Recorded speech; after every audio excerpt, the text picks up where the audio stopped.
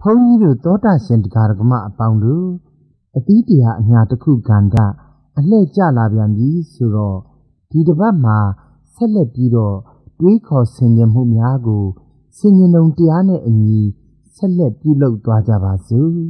သောတာရှင်တရားဓမ္မအပေါင်းတို့အရာရာတိုင်းကိုမိမိရဲ့အတိညာနဲ့ဝေဖန်ပြီးဆင်ခြင်သုံးသပ်တွေးခေါ်ဆင်ခြင်တဲ့နေရာမှာအဆင့်၃ဆင့်ရှိပါတယ် ပထမအဆင့်ကတော့ a thing that is known မိမိသိထားတဲ့အရာကိုဆင်ခြင်သုံးသပ်ခြင်းပဲဖြစ်ပါတယ်ဒုတိယအဆင့်ကတော့ a thing that is unknown မိမိမသိထားသေးတဲ့အရာကိုဆင်ခြင်သုံးသပ်ခြင်းပဲဖြစ်ပါတယ်တတိယအဆင့်ကတော့ the mental journey from the first to the second မိမိသိထားတဲ့အရာကနေမိမိမသိသေးတဲ့အရာကို ဥနောက်ထဲတွေးခေါ်ဆင်ခြင်သုံးသပ်ခြင်းပဲဖြစ်ပါတယ်ဒီတော့ TV ရုပ်မြင်တန်ကြားဆက်တစ်လုံးကိုဥပမာပြုလျက်ကြိုးချောင်းဆင်ခြင်တုံနိယာမတရားကို ထောက်ရှုဆင်ခြင်သုံးသပ်သွားကြပါစို့ဒီ TV ရုပ်မြင်တန်ကြားဖန်းဆက်ကြီးဟာ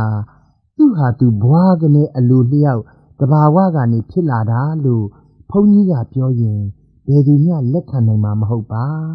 ဒီ TV ရုပ်မြင်တန်ကြားဆက်ကြီးကို ရှုပြီးထောက်ရှုဆင်ခြင်သုံးသပ်လိုက်မယ်ဆိုရင်တစ်ဒီ TV ရုပ်မြင်တန်ကြားဖန်းဆက်ကြီးကို ထုတ်လုပ်သူတီထွင်သူရှိမှန်းဘုန်းကြီးတို့အားလုံးသိကြပါတယ်သို့တော်ဘယ်သူဘယ်ဝါမှမသိပါဒီ TV ရုပ်မြင်တန်ကြားဆက်ကြီးကိုတီထွင်သူဟာ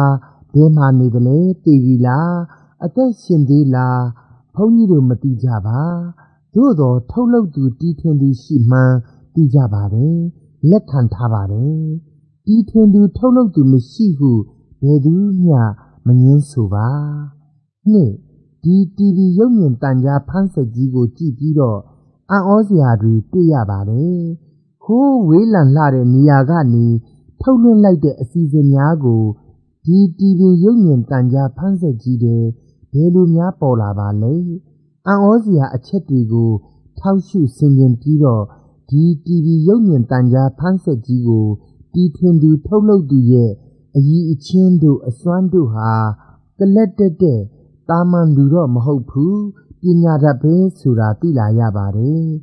သို့တော်ဘယ်လောက်တော်တယ်ဘယ်လောက်ပညာရှိတယ်ဘယ်လောက်စွမ်းတယ်ဘယ်လောက်တော်တယ်ထက်တယ်ဆိုတာကိုတော့ဘုန်းကြီးတို့မသိနိုင်ကြပါဘုန်းကြီးတို့အားလုံးအနေဖြင့် လမ်းခုလက်မှာရပ်မနေပဲဆက်လက်ပြီးကွင်းဆက်လိုက်လျှောက်ဝေဖန်သုံးသပ်ဆင်ခြင်လိုက်တဲ့အခါမှာအဆုံးမှာအမှန်ကို တွေ့ရှိနိုင်မှာဖြစ်ပါတယ်ဒီလိုပါပဲဘုန်းကြီးတို့အားလုံးဒီမိမိတို့ရဲ့ပတ်ဝန်းကျင်မှာရှိနေတဲ့တောတောင်ရေမြေနေလကျယ်နဲ့ခတ်တာယာစက်ကြောလာကြီးတစ်ခုလုံးကို ကြည့်ရှုလိုက်မယ်ဆိုရင် အမခန်းအံ့ဩစရာတွေနားမလည်နိုင်တဲ့အချက်တွေနဲ့ပြည့်နေတာ တွေ့ရှိရပါတယ်။နေ့ပြီးရင်ညညပြီးရင်နေ့၊နှွေပြီးရင်မိုးမိုးပြီးရင်ဆောင်းဆောင်းပြီးရင်နှွေရာသီစက်ဝန်းကလည်းအံ့ဩစရာပင်ဖြစ်နေပါတယ်။တဘာဝရှုခင်းကိုရှုလိုက်ပြန်ပါတော့လေတောတောင်ရေမြေတွေနဲ့ရှင်တန်နေရတဲ့တစ်ပင်ပန်းမှန်လာတွေကလည်းအပင်အဖူးအငုံအပွင့်အတီးအစိတ်သူရာသည်နဲ့သူအားလုံးဟာစက်ကြောလာကြီးတစ်ခုလုံးရဲ့လေပတ်မှုပေါ်မှာ ပြောင်းလဲနေကြတယ်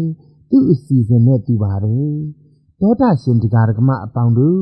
စက်ကြောလာရန်တရားကြီးတစ်ခုလုံးဟာသူ့ဟာသူတဘာဝအတိုင်းဝုန်းဆိုပြီးဖြစ်လာတာလားပြုလုပ်တဲ့သူမရှိပဲဒီစက်ကြောလာကြီးဟာသူ့ဟာသူဖြစ်ပေါ်မလာနိုင်ပါဤအကျိုးဖြစ်ပေါ်နေရခြင်းသည်ထိုအကြောင်းကြောင့်ဖြစ်၏လှုပ်သူရှိလို့ဒီစက်ကြောလာကြီးဟာဖြစ်ပေါ်လာရခြင်းဖြစ်တယ် အဲ့ဒီလှုပ်တဲ့သူကိုသိရှိဖို့အတွက်တစားချင်းတဖြည်းဖြည်းနဲ့အကြောင်းရင်းကိုဆင်ခြင်သုံးသပ်ကြည့်တဲ့အခါမှာတော့အကြောင်းမဲ့အကြောင်းတရားဖန်ဆင်းရှင်ထာဝရဘုရားသခင်ဖြစ်တော်မူကြောင်းသိလာရပါတယ်ထိုအကြောင်းမဲ့အကြောင်းတရားဖန်ဆင်းရှင်ဘုရားသခင်ကိုဘုန်းကြီးတို့မမြင်နိုင်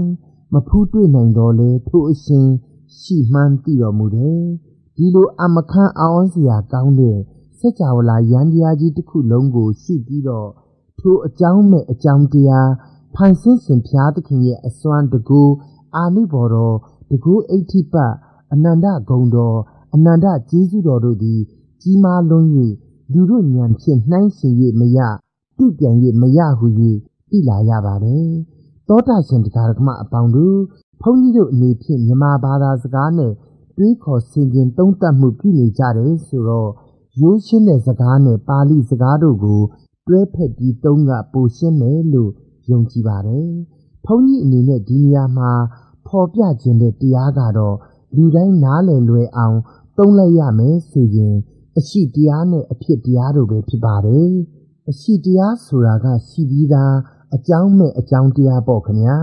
အဖြစ်တရားကတော့အရှိတရားမှနေဖြစ်ပေါ်လာရခြင်းဖြစ်တယ်အရှိတရားကိုအင်္ဂလိပ်လိုခေါ်ရင် infinite being အနန္တဓမ္မပေါ့ခင်ဗျာအဖြစ်တရားကတော့ finite being အန္တိကဓမ္မပေါ့ခင်ဗျာခရိယန်တရားတော်အရဆိုရင်တော့အရှိတရားဟာဖန်ဆင်းရှင်ဖျားသခင်ဖြစ်တော်မူတယ်အဖြစ်တရားကတော့ဖန်ဆင်းခံအရာများနဲ့တရားများပဲဖြစ်ကြပါတယ်အရှိတရားဖြစ်တော်မူတဲ့ဖန်ဆင်းရှင်ဖျားသခင်ဟာအသင်္ကတပရမတ်ဓမ္မပြည်ရင်စီရင်မှုနဲ့ကျင်းသောအရှင်ဖြစ်ပေါ်လာမှုနဲ့ ကျင်းသောအရှင်အဖြစ်တရားအန္တိကဓမ္မမဟုတ်အရှိတရားဖြစ်တော်မူတဲ့အနန္တဓမ္မ infinite being ဖြစ်တော်မူတယ်အရှိတရားဖြစ်တော်မူတဲ့အနန္တဓမ္မဖန်ဆင်းရှင်ဖျားသခင်သည်အဟေတုကဓမ္မအကြောင်းကင်းမဲ့သောအရှင်အပစ္စယဓမ္မအထောက်အပံ့ကင်းသောအရှင်ဖြစ်တော်မူတယ်အရှိတရားဖြစ်တော်မူတဲ့အနန္တဓမ္မဖန်ဆင်းရှင်ဖျားသခင်ဟာ အနာတိဓမ္မအစမရှိသောအရှင်အနန္တဓမ္မအဆုံးမရှိသောအရှင်နေဆဓမ္မအမြဲထာဝရတည်တော်မူသောအရှင်ဘုရားသခင်ဖြစ်တော်မူသလိုခြောက်ခြားခြင်းလှုပ်ရှားခြင်းမရှိဒူဝဓမ္မငဲညံခိုင်ခံ့တော်မူတဲ့အရှင်ဘုရားသခင်ဖြစ်တော်မူပါတယ်အရှိတရားဖြစ်တော်မူတဲ့ထာဝရအရှင်ဘုရားသခင်သည်တတ္တရဓမ္မအကန့်အသတ်အပိုင်းအခြားမရှိတစ်ဆက်တီးတပြင်းတီး ဒီသဘောတည်းသာလျှင်ဖြစ်တော်မူတဲ့အရှင်သခင်ဖြစ်တော်မူသလိုအဝိပရိနာမဓမ္မမပြောင်းလဲမဖောက်ပြန်ပြောင်းလဲခြင်းဖောက်ပြန်ခြင်းမရှိထာဝရတည်ရှိတော်မူသောတန်တိလက္ခဏာငြိမ်သက်ခြင်းနှင့်ပြည့်ဝစုံလင်သောအရှင်ဖြစ်တော်မူတယ်။အနန္တဓမ္မအရှိတရား infinite being ဖြစ်တော်မူတဲ့ဖန်ဆင်းရှင်ဘုရားသခင်သည်အစ္စုတိရတ္တမရွေ့မလျောမဖောက်မပြန် ပြောင်းလဲခြင်းအလင်းမရှိတဲ့ဂုံတော်နှင့်ပြည့်စုံတော်မူသောအရှင်ဖြစ်တော်မူသလိုအနိမိတ်တပုံဟန်တန်တန်အယိတ်နမိတ်ကျင်းစင်တော်မူသောအရှင်ဖြစ်တော်မူတယ်။အဖြစ်တရား finite being အန္တိကဓမ္မများဖြစ်ကြတဲ့ဖန်ဆင်းခံအရာများတရားများသည်သင်္ကထပရမဓမ္မပြည်ပြင်စီရင်အပ်သောသဘောပေါင်းစပ်၍ဖြစ်ပေါ်သည့်သဘောနှင့်ပြည့်ဝနေတဲ့ဘဝ တဟိတုဓမ္မအကြောင်းနှင့်တကွဖြစ်ရတဲ့ဘဝသပစ္စယဓမ္မအထောက်အပံ့နှင့်တကွဖြစ်ရတဲ့ဘဝအာဓိဓမ္မအစပြုခြင်းရှိတဲ့ဘဝအန္တဓမ္မအဆုံးသတ်ခြင်းရှိတဲ့ဘဝအနိစ္စဓမ္မမမြဲတဲ့ဘဝအဒုဝဓမ္မမခိုင်ခန့်တဲ့ဘဝအတတရဓမ္မအကန့်အသတ်အပိုင်းအခြားများနေပယ်များကြောင့်တစ်ဆက်တည်းတစ်ပြင်းတည်းမဟုတ်ဘဲကွဲပြားမှုရှိနေတဲ့ဘဝ ဝိပရိနာမဓမ္မပြောင်းလဲဖောက်ပြန်ခြင်းရှိတဲ့ဘဝ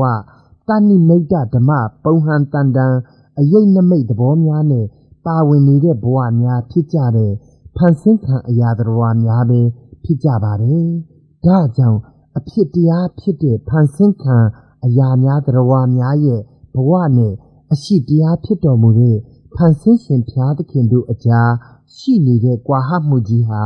လူတို့ဉာဏ်ဖြင့်နှိုင်းယှဉ်၍ မရနိုင်အောင်